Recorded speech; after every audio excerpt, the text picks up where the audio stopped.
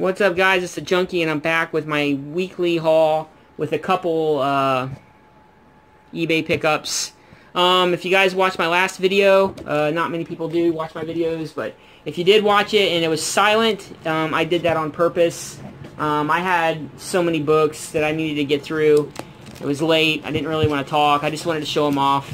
If you collect comics, you know what keys are keys. Most of them were just run fillers, hole fillers that no one really shows off anymore, but um, and of course I got another handsy, so I'm up to 19. I only need one more to complete my goal of 20.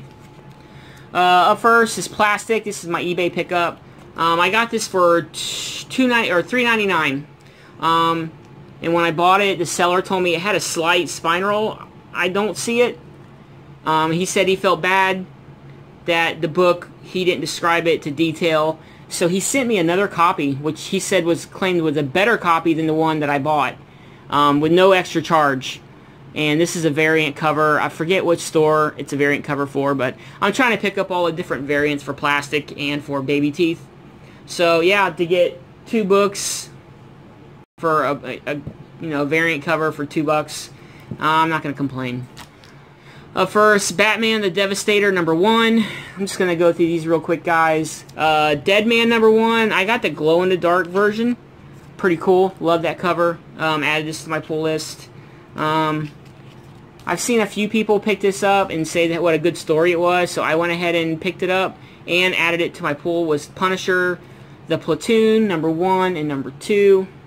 Um, believe the villain and Stuff Burrito showed this off every week you guys aren't watching them, go check out their, their vids, man. They do some awesome weekly hauls. Green Lanterns, number 34. Deathstroke, 25. Walking Dead, 173. Superman, 34. Darth Vader, number 7. Old Man Logan, number 30.